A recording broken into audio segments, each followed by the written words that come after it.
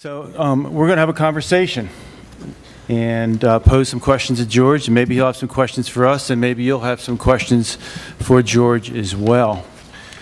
Now, maybe I'll, I'll get it started with this question, George. Um, Denver Water has published a book through uh, author Patty Limerick, and I was paging through it, didn't read the whole thing yet, but I did notice where she refers to the powerful Colorado River District. That, you know, not that we think that we're powerful, we don't walk around the halls saying, oh, we're powerful today. Um, we just hope that we're effective most of the time. But then I, uh, I read the back cover of our book, and basically you said, well, we, we over 75 years we, we've used imagination, political shrewdness, and legal facility, and appeals to moral rightness to do our work. That sounds like smoke and mirrors to me. So how do we go from smoke and mirrors to power? Well, uh, I don't uh, see the River District through the, those 75 years as having been powerful. It's 10% of the state's population. Still is, actually. We keep saying 20% and 80%, but it's really closer to 10%, maybe 12. And uh, uh, it is uh, faced with the problem of a minority in a democracy where majorities rule.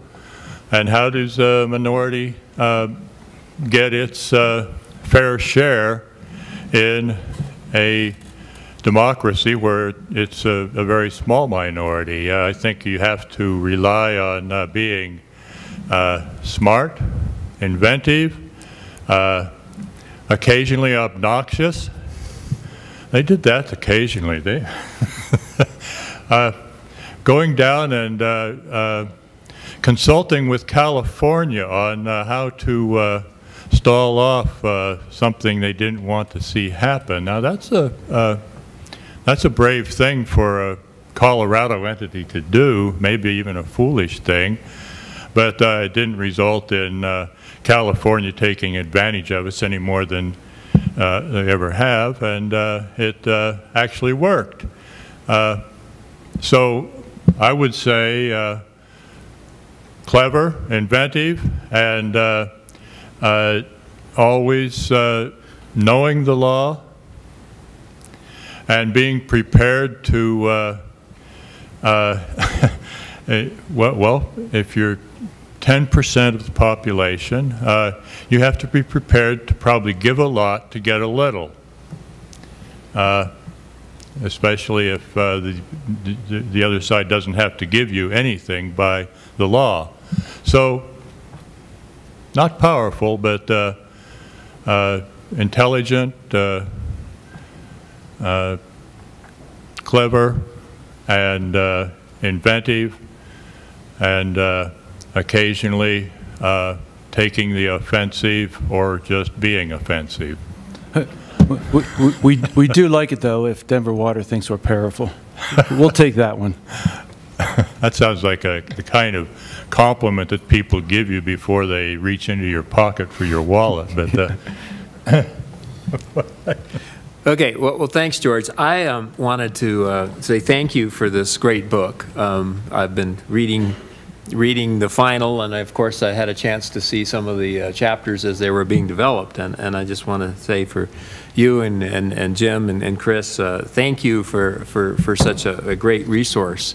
Um, meanwhile, my life and, and Peter Fleming and many of the River District staff's lives for the last five years have, have been consumed by uh, uh, facilitated negotiations on with with both Denver Water and and the municipal subdistrict of Northern Colorado Water Conservancy District.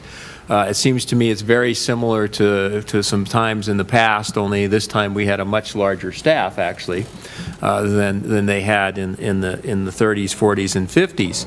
Um, I just have a couple of questions for you and maybe some ask for you to speculate on a couple of things because I want to draw our experience, uh, their experience, uh, or our experience from the recent 30 years of negotiations with Denver and the more recent five years, uh, and maybe hear what you think about those. The, the first, of course, is that um, we in- seem to be intentionally set a double standard uh, in the 30s.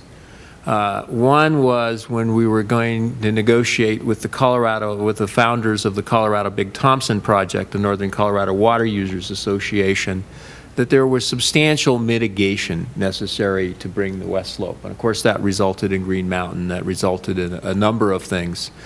Uh, On the other hand, as far as Denver, um, as you point out, there was this, and I think it, you, you trace it to uh, maybe one letter from Congressman Taylor, that we saw Denver as the queen city of the plains, and, and what was good for Denver uh, is good for the West Slope, and as long as they don't compete for, compete with us on an agricultural basis, um, we're not going to ask of Denver what we asked of, of the northern Colorado water users. Uh, Same as may be true of, of, of in the 50s of the, of the southeast. And, and I guess my question was, uh, go, go back to the district folks in the 30s and said, why was, what was their, what was their thought? What led them to that double standard? And, and do you think, when did that double standard go away in the River District's history?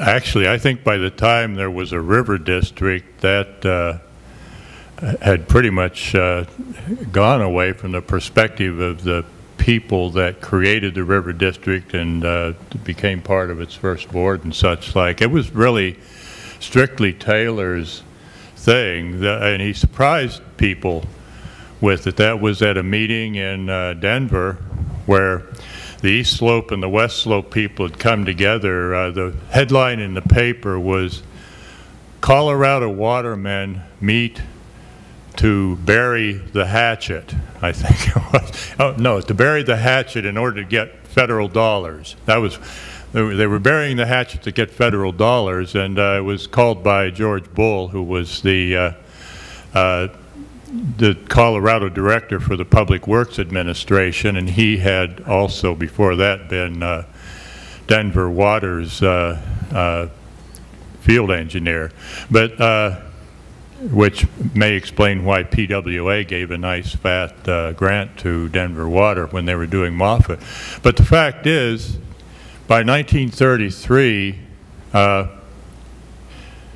Denver Water was already beginning work on the Moffat project. And so I think Taylor might have said, we're willing to let the Queen City uh, do this without giving us uh, compensatory storage because, uh, well, fact of the matter is they're already taking water without giving us compensatory storage, and if we say it's okay, then uh, uh, it's, they're doing it with our permission rather than doing it against our futile efforts to uh, get them to stop this project. I think that was pretty much the situation, and uh, it, uh, he wasn't going to let anybody else get away with that. Uh, Congressman Taylor wasn't, but uh, I think that was, uh, was pretty much because it was already happening, and Denver was not, made it pretty clear. Um, George, yesterday our board met and they were discussing our health insurance. Keeping that in mind, uh, in the book you point out, uh, you make a point to point out that we seem to have killed off three of our key people over the years, our second general counsel, our second uh, secretary treasurer, and Judge Clifford Stone, who was uh, um, one of our early founders and uh, instrumental in the Co- Colorado Water Conservation Board. What was going on in those years that made the work so, so deadly? Well, they, they were doing it uh, with a staff of basically two and a half, well, they were doing it with a staff of one and a half, uh, pretty much. Uh, The secretary engineer was the only real full-time employee, and they had an office assistant. That might have gone up to two people, the office probably. Uh, What was her name? Uh, that's- Eunice. Eunice, yeah, Eunice probably came on full, full-time at some point, but they were doing with a staff of two. And what they got into when, uh, uh, after the Colorado River Storage Act passed, or actually through the 50s, when the Colorado Storage Act was still going through the mills of uh, Congress, uh, it, it occurred to everybody in the state that the Colorado River dis, or the Colorado uh, water, Colorado River Water Storage Project was probably going to utilize an awful lot of the Colorado River's, Colorado share of the Colorado River on the west slope and also for protection downriver. And uh, therefore, if anybody wanted to get any of that water off of the west slope, they'd better get it before people started filing for the uh, River Storage Act.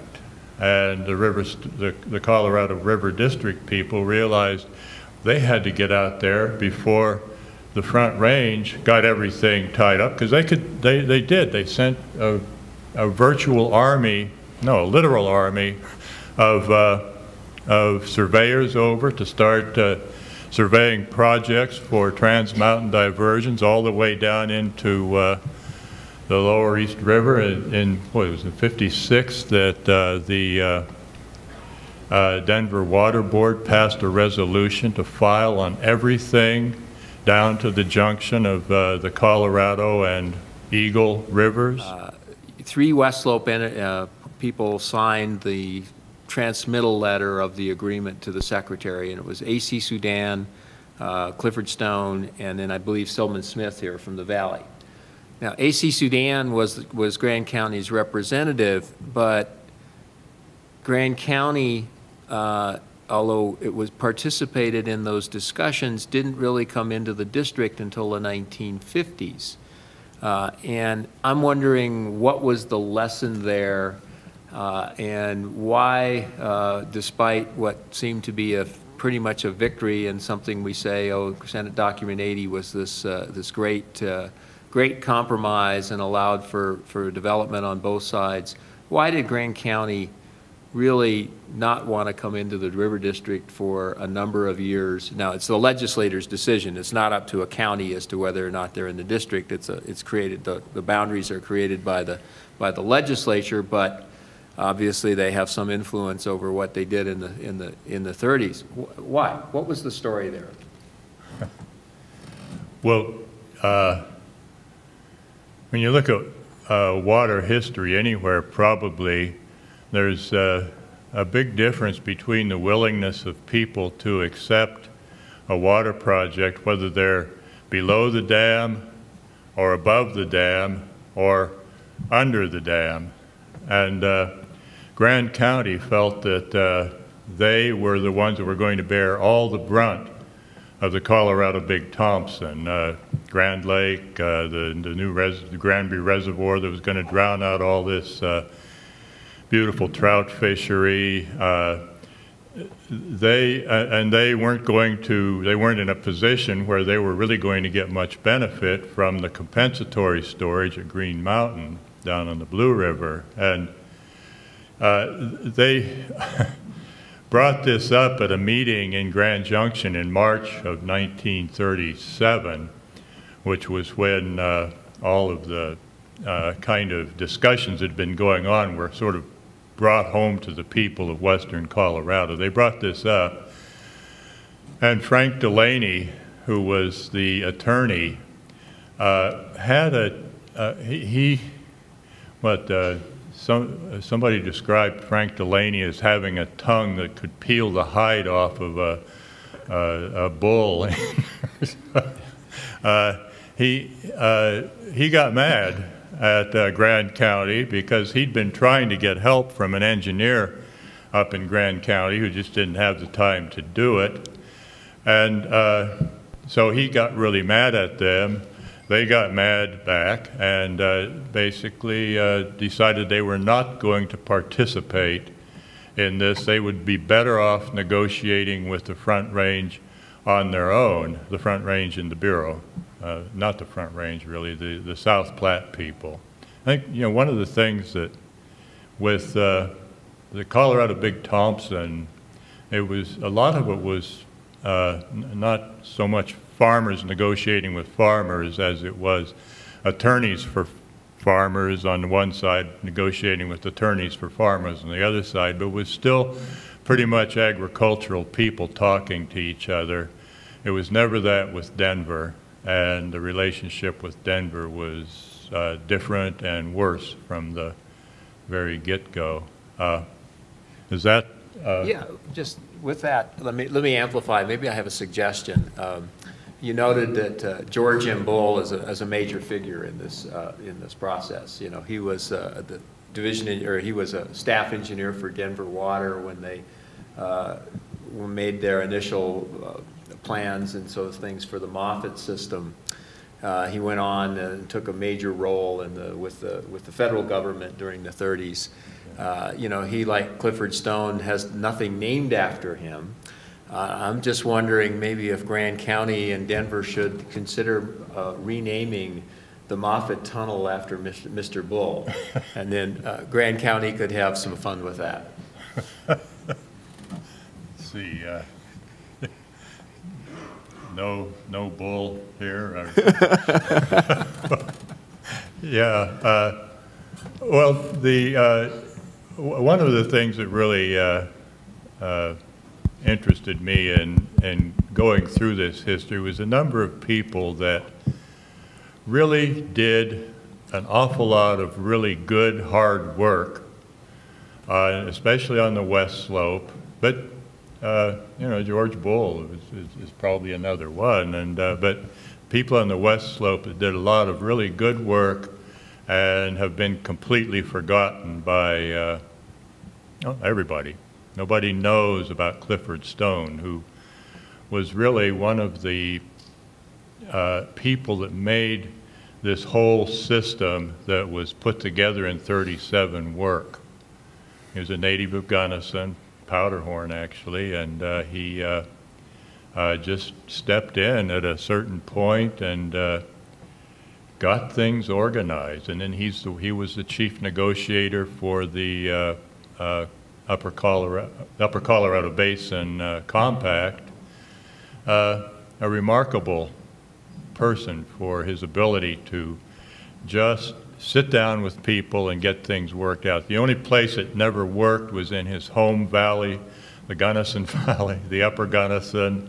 Uh, it, uh, that, that was an interesting situation there, but that's another whole story.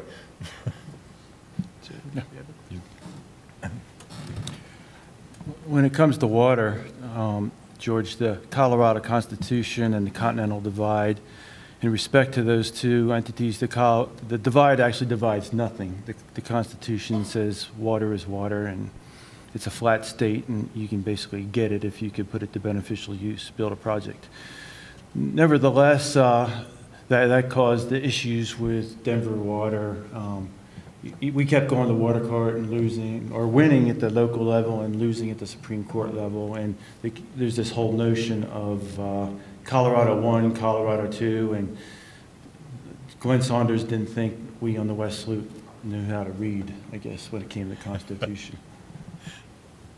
Yeah, I, I, I was, uh, they said, do you have any questions you want to put to us? And I was going to put this one to uh, Jim and Eric, but uh, Glenn Saunders said in his uh, retirement, uh, after his retirement, uh, uh, he wrote a kind of a memoir, which is really kind of fascinating. It's easy to find on the internet. But he said, uh, there were clearly two states, Colorado one, where the capital was located east of the Continental Divide, and Colorado two, west of the Continental Divide. The judges, the lawyers, the legislators, and all local officials in Colorado two, so far as water law was concerned, had their own law for western Colorado and had never heard of the Colorado Constitution. Uh, well, I'm going to just throw the question right back to you. Uh, i- i- uh, really, what it comes down to is this issue of uh, uh, compensatory storage. There's nothing in the Constitution saying that if you take water out of one basin, which isn't even mentioned in the Constitution, taking it out of one basin into another, uh, it's simply the waters, you- the right to divert will, unappropriated waters from any stream will never be denied. Uh, the uh, uh, idea of compensatory storage is much more of a, a moral idea. If you're taking somebody's future or part of somebody's future away, do you owe them anything? And Taylor was a very, uh, Congressman Taylor was a very moral person. And uh, uh, Chips Barry, uh, at a, one of the water conferences at Western uh, State Colorado University, uh, said uh, in 2005 in a talk there that uh, the people of the West Slope have never had a legal beef about uh, Trans Mountain diversion, but they may have a moral issue. And so uh, it's not in the Constitution. Uh, he's right about that. Saunders was right about that. But uh, you want your law to match your morals, I think, to some extent. And uh, is there uh, a, a moral issue there that needed to be reflected in the law? To a certain extent, still does need to be reflected in the law, perhaps. But I'll give that right back to you. I'll let Eric uh, opine a little bit more intelligently, but I do know, fr- uh, having worked in newspapers and uh, previous to this career, that a lot of people on the West Slope, you know, want to say, no, not one more drop, not one more drop. And that's surely what they wanted to say, or some wanted to say in the 1930s, but you don't have a leg to stand on when you say not one more drop. And I guess it's kind of amazing that um, there's any water left in western Colorado to some extent, but, you know, we, we- in the 30s, we were able to get um, the compensatory storage um, piece of legislation, although it didn't pertain to Denver water.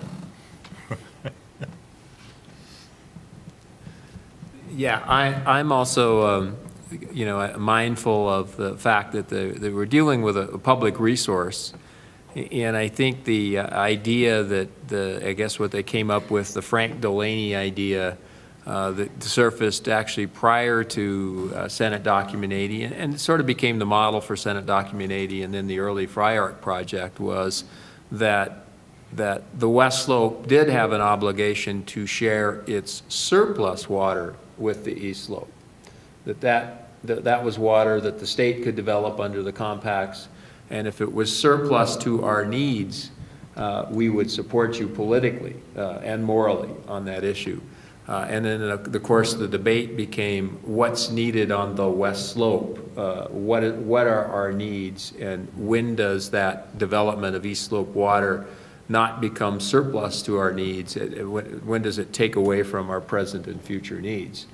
In those days, they were primarily dealing with need for uh, water for irrigation purposes. In fact, Senate Document 80 only looked at irrigable lands when it tried to determine needs. Uh, You know, today that's water quality, today that's recreation, today that's, that's water for municipal uses and, and, and power uses. So it's become much more complex and much easier to, uh, I mean, not much easier, much more difficult to determine what our needs are. But I think that was sort of the moral approach that people could buy into, and, and I think in some ways that was the genius of, of Frank Delaney, which was, yes, you can do it, but as long, if you meet our needs and we have surplus to our needs, uh, then, then let's work together. Yeah.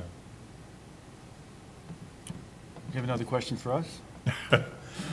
Okay. uh, I uh, got the feeling, uh, and said it somewhere in the book, uh, something to the effect that Coloradans from both sides, from both slopes, may have historically used California as a convenient bogeyman, saying, we've got to develop our Colorado River water now because if we don't, California will take it. This statement usually appeared when somebody was pushing a water project. Uh, But after the relatively recent quantification settlement whereby California agreed to reduce its use of the water to its original 4.4 million acre feet, and is theoretically actually working on that, uh, and the interim guidelines for equalizing the contents of the two big reservoirs, Is there any remaining accuracy or truth in portraying California or any of the other lower basin states as bogeymen out to take our water? Do you think the lower basin states are actually going to play by the rules and adhere to the compact? And what do you see as the appropriate relationship today between the upper basin states and the lower basin states? Great questions. Uh, Probably the subject of an entire conference. We did hear a little bit uh, about that this morning. Uh, I don't know if Chuck is still here and- and and Jennifer are the folks that are still here. Um, But I I will present you my view, and- and and there are some differences there. And- And I think it was a very recent governor during a debate over a statewide, what was it, Proposition A or or whatever it was, that said the same, same thing. If we didn't pass this proposition, that I think failed in every county in the state, uh, that California would take our water. Uh, It makes great 15-second soundbite. It- it- In reality, it, it- it doesn't really pass the smell test. California has a right to 4.4 million acre feet under Arizona v. California. California started using 4.4 million acre feet in 2003, and unless things really turn wet down the, you know, down the road, they're going to continue to use that 4.4 million acre feet. So is California the boogeyman? No. Uh, Do the upper basin and lower basin states, or upper division and lower division states, need to have a cautious uh, relationship and, and be concerned about what each other are doing? Yes. Uh, But I think Jennifer Pitt's um, one PowerPoint from this morning sort of shows how that has changed. Uh, We're no longer, we're talking right now about under certain conditions in the future, if we develop an extra 100,000 acre feet or 200,000 acre feet of water, some big project, at some point in the future, it's inevitable that the operation of that big project will take water away uh, from somebody that's currently using it today in the upper basin under a post-compact water right. So that's sort of the risk management issue, and, and I think we're kind of moving, transitioning from the lower basin as the boogeyman to, or especially California, to more sophisticated uh, look at how we manage this resource, given the hydrologic uncertainties, and how we do that within the upper basin. I, I- I think we're there. It's just when will the politics and the 15-second sound bites catch up with us? Amen. Green Mountain Reservoir plays a big role in our history and, and in your book. And um, you point out to great length um, that Denver Water just seemed hell-bent on making that an empty hole, and somehow we survived. Um, how about a little bit, ba- a little bit more background, sorry about this, Mike, a little bit more background into what, what was Denver up to trying to take out Green Mountain Reservoir? Well, they were upstream with a fairly junior water right. Uh, what, about 10 years junior? Well, yeah, Green Mountain is 1935, and, and Yeah. and Denver's 1946. Yeah, the- a a 10-year junior water right, and uh, they had not expected that. They, uh, it's true that almost every time uh, the West Slope went to the state Supreme Court, uh, we lost, but uh, we won a big one in uh, 54, uh, right, right, I think 54, uh, on the Blue River. And uh, at that, that was when uh, the state Supreme Court upheld the uh, district court's ruling that was the 1935 and 46 uh, water decrees for Green Mountain and Denver's plans. And De- Denver was surprised and shocked by that. They tried to go back uh, two or three times, uh, and the Supreme Court kept uh, refusing. Uh, it it uh, infuriated Glenn Saunders, needless to say, uh, and he was a pretty furious guy anyway, all the time, I think. I mean, some of the things in Patty's book, Patty Limerick's book about uh, Saunders, or you just this guy was actually uh, saying these things in a courtroom.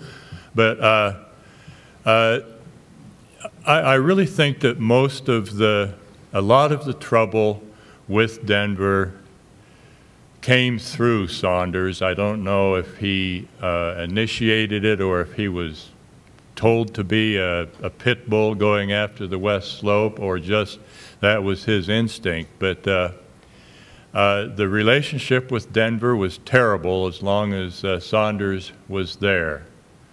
Uh, and uh, after Saunders left, things started to open up. In 86, I, was that the year he left? Uh, well, he, he, yeah, we really he, he had, he had gone he had gone to his own law firm. He was still right. doing uh, he was still retained by and Jack Ross. But uh, in, uh, when when the start, uh, when he stepped back a little bit, uh, Eric and uh, the a couple of guys from uh, the Front Range started meeting kind of informally to just see if there Yeah. was some way that uh, you should tell that story. Well, it was Andy Williams from, from down here. Yeah, uh, right. And, and, and I and, and, uh, and Rolly, uh, when things got serious, uh, were meeting with the Front Range. And uh, it's funny, I, I learned from, from, Geor- uh, from George's book that, uh, you know, we were talking about a way to take some of the pressure off of Denver by doing substitutions, allowing them to maximize their Dillon Reservoir, uh, which, by the way, you know, Dillon Reservoir is about 200,000, well, it's a little under 200,000 acre feet today. Its capacity is 250,000 for those in, the, in, in uh, Summit County. It looks pretty bad. If it wasn't for that substitution, it would be at about 160,000 acre feet or about 20 feet below where it is today. So there were some advantages uh, to this from a, from a recreation standpoint. Uh, but I learned in here that one of the that Jack Ross had a plan to uh, to to get around that proposal that we had, where they would come in and help us with Wolford and and agree to formal substitution agreements. That, that he had a he had a, a, way to get around that. Unfortunately, it didn't work. Um, another question, I think, uh, related to Green Mountain uh, on that, like uh, some speculation from George is, I go back to 1955, and, and it's true, what happened there was that Judge Luby had said, you got a 1946 right, Denver, it's going to be junior to Green Mountain. Uh, the court had not yet formalized Green Mountain's uh, appropriation date, but the project had been built and had been operating you know, and so it was obviously going to be before 1946, whether it was 35 or 33 were, were just a detail. And at that time, uh, the folks, there was a lot of political pressure, it appears to me, on the West Slope uh, to accommodate Denver to allow them to what I call intercept the power water, uh, to, to use the water as long as the, we were guaranteed one fill of Green Mountain, they could use the power water. And I have to say that has led to confusion, complications. I'm looking at a few folks here that have been involved in the Green Mountain admin discussions. In many ways, those were much more difficult to negotiate than the Colorado River Cooperative Agreement. Uh, but do you, what was some of the pressure at the time? Why did the West Slope agree to this Blue River Decree compromise that allowed Denver to intercept the power water and, effectively Bill Dillon with, with the, without, with minimal interference from Green Mountain Reservoir. So what was the political attitude at the time? Why was the West Slope swept into that 55 compromise after they'd won in court? Well, I, I think uh, that, I mean, I, I can't look at that history without feeling like the uh, there's really it's really a good guy bad guy situation. The the West Slope was a minority in a democracy. The Front Range was a very powerful, uh, growing metropolis, and uh, my my feeling is that uh, the West Slope was trying to get the best deal it could without. Uh, uh, making the big guy so mad that uh, it, it, didn't work, really, because uh, the big guy was just mad. Uh, that's all there was to it. And uh, I, I, think that uh, they knew there was have to be a little bending on the Blue River to uh, get a consent decree through, and that was something they could, could, could bend on without it being too huge a loss. They ended up back in court two or three times trying to uh, Right. uh, essentially defend what had already been won. And we never won anything more in the court cases. Uh, we just managed to, Keep the courts basically said, uh, we've already decided this. And uh, usually they just send them upstairs to an empty room and uh, tell them to uh, figure it out and come back when you've got a, an agreement. And, uh, but I, it's hard to uh, say that Denver was behaving like anything other than an arrogant bully a lot of the time in the uh, 50s, 60s, 70s. I, I just don't see how you can see it as anything other than that. Jim, do we want to ask uh, Yeah. questions or something from the audience? Sure. Uh, On that note, it should be mentioned that we are good friends most of the time with Denver now. Oh, yeah. We are Yeah, in an it's era of cooperation. But um, we should, we didn't mention this right off, the book is called Water Wranglers. It's free to those who are here, otherwise it costs $12.95. We just took our first shipment today.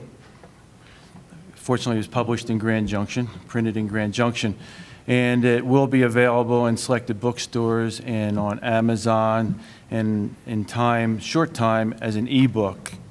So um, you'll be able to read it in many different forms. But, um, and George will be available to, for those who didn't get a signed copy, he, he will be glad to do that uh, between now and our ice cream social, which starts in 20 minutes. But meanwhile, would anybody have any questions?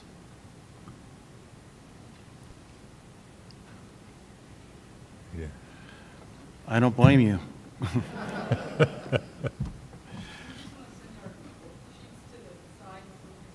Sure, we'll, we'll pick up the survey sheets out front. But I, I- I too want to thank George for this Herculean effort. Um, He did it in, what, two and a half years? And then, you know, about two years ago, he, or two, six months ago, he started reminding me that Northern's uh, history book uh, came out five years after their 50th. It kept getting delayed, and I guess he wanted us to think that maybe delay would be a good idea on our part, but he, he, he soldiered through, and um, it is a commendable effort. We thought it was going to be about 200 and some pages, but it turned out to be a much bigger story. And I can tell you, there's, even in 463 pages, there's a lot of details that still could be written. There's a, consult with, like, uh, I know Dan Tyler wrote a lot of uh, front range uh, water history. Is that integrated? I haven't read the book, obviously, I just got it, so. Yeah, I uh, acknowledge openly in the acknowledgments that uh, I used uh, Tyler, I did, I used several secondary sources because, you know, we were trying to do this in a year and a half. It ended up taking two years anyway, and I just said there was no way to go back entirely to the original resources uh, on, on a lot of that. So the section about, uh, the part of the book about Colorado Big Thompson, uh, I augmented it with a lot of information I found from the Frank Delaney papers and such like, but uh, I had to use uh, that. I used uh, Steven Schulte's book about Wayne Aspinall, a good biography, uh, which almost is a, a history of the period as well as a biography, and uh, a lot of uh, uh, analysis papers that uh, had things that if I were doing this for a doctoral dissertation, I would have to have gone back to their original sources. There just wasn't time for that. So yeah, I used uh, Tyler's book and Schulte's book and stuff from Greg Hobbs. Justice Hobbs was a wonderful help, actually.